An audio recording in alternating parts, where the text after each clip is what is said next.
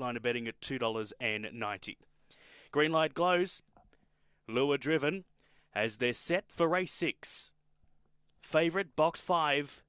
Racing, Kid Freeze was nicely away, goes to the early lead with Arbitrary Porsche, followed by Best of Alice, Frankie Bear, and last is Outshiner Red. Off the back, and Kid Freeze darted away. It's four in front of Arbitrary Porsche, a length and a half to Frankie Bear, and China Red and Best of Alice at last. Kid Freeze went wide on the track, booting up the inside, Frankie Bear, but it's Kid Freeze, beats home uh, Frankie Bear. So Kid Freeze, Frankie Bear. Third over the line could have been Arbitrary Porsche, Best of Alice, or Outshiner Red. The time around 19 and 40. So number five, Kid Freeze for trainer Jamie Bush.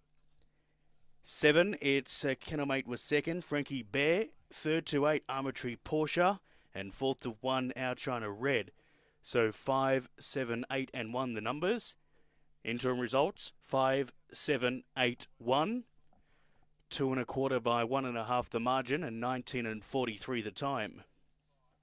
Kid Freeze does it again and makes it five on the bounce. Kid Freeze is owned and trained by Jamie Bush. He's a black bitch by Aston DB. Elusive Zesta, whelped in November 2020, start 23, win number 9. Had its last uh, three starts, it's won here at uh, Gunnedah. It's gone wide on the corner, so it seems to lose its compass on the on the point of the corner, but does enough to hold on and uh, and score. Seven, Frankie Bear was second, also prepared by Jamie Bush.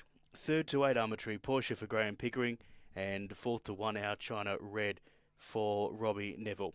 It's five, seven, eight, and one after race number six.